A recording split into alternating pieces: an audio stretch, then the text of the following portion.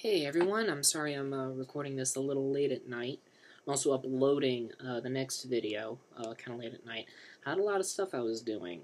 Um, had a meeting at my workplace, and uh, I also saw Ghostbusters, um, which was uh, really good. Well, not really good. It was enjoyable. It was enjoyable. There are a few things here and there but that's not what this video is going to be dedicated to. Um, it's going to be dedicated to Chapter 11 of the novelization of The Room. So here we go. Johnny was returning home after another long day at the bank. Today he would take a route that would lead him through a few alleyways. He was still upset about the night before and didn't want to confront Lisa right away. The sight of the red bricks and silver garbage cans seemed to match his ever darkening circumstances. A voice came from behind him. Johnny recognized it instantly as Michelle's boyfriend, Mike. Hey, Johnny, what's going on? he said. The two embraced in greeting. Oh, hi, Mike. What's new? What's going on, man? Actually, Johnny, Mike started, I got a little bit of a tragedy on my hands. Johnny nodded for him to continue.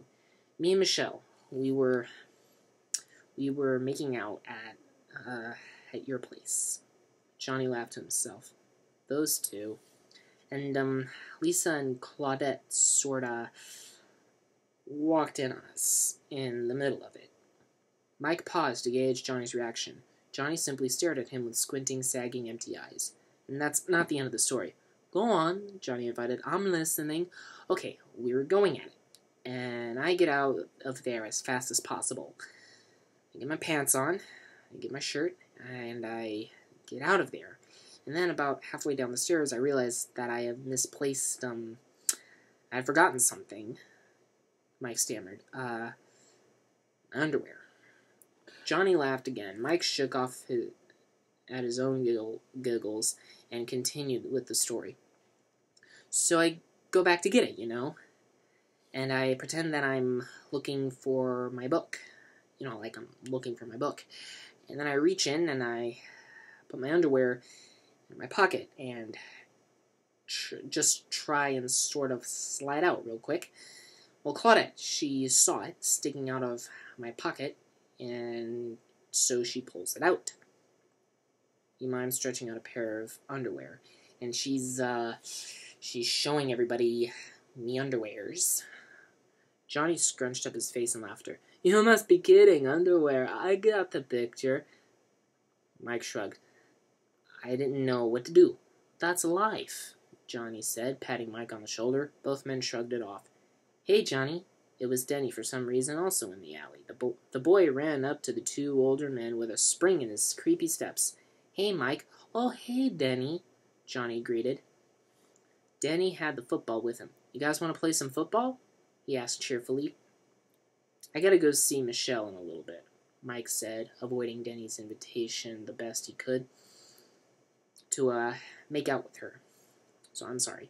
Denny wasn't buying it. Come on, he pleaded. Johnny agreed. Come on, let's do it. Come on, he said. All right, all right, whatever. Mike grabbed the football from Denny. Let's go for it, Johnny said and moved into position. I'm going out, Denny proclaimed excitedly, running a few paces opposite of Mike. Mike threw him the ball, and Denny caught it happily. The three friends stood a meter apart from one another, tossing a football around in the alley like friends do. I'm sorry you had to see that, Mike said, throwing the ball to Jenny. I'm not sorry, Denny said, and the three laughed. Studying, right? Yeah, well. I don't study like that, Johnny smiled. He doesn't. Hey, Denny, what's up? It was Mark, was also there, in the brick alleyway for some reason. Hey, Mark, what's up? Oh, hi, Mark, Johnny greeted, throwing him the ball. What's up, Mark? Mike asked. Not too much, Mark replied with a handsome smile. How about you guys?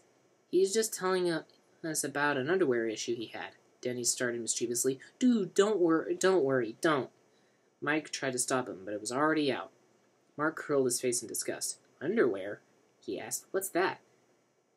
It's embarrassing, man. I don't want to get into it, Mike replied sheepishly. Underwear, man? Come on. And to emphasize the point, Mark pushed Mike the fuck over into a bunch of trash cans. The three uh, The other three men tried to break his fall, but Mike hit the ground hard.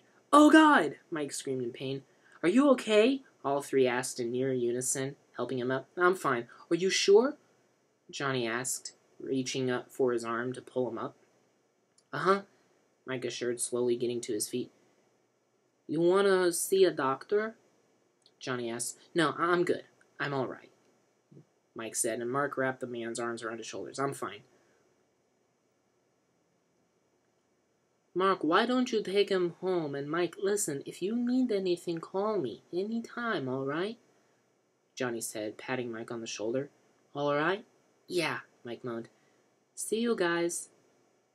Johnny called out as they left. See you guys. Denny also called out as they left.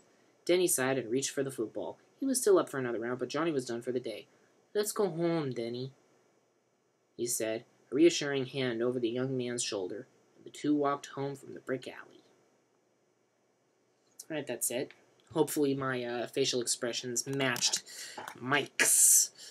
Alright, I will see you in the next one. Take it easy.